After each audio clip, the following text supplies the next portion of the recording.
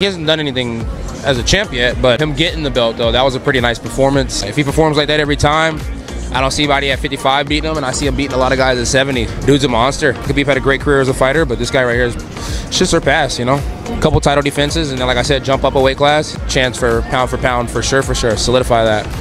It's pretty badass. He'd be the one of the Khabib boys that get the double belt status and show, uh, you know, how truly great they are. Khabib's gonna be a great coach.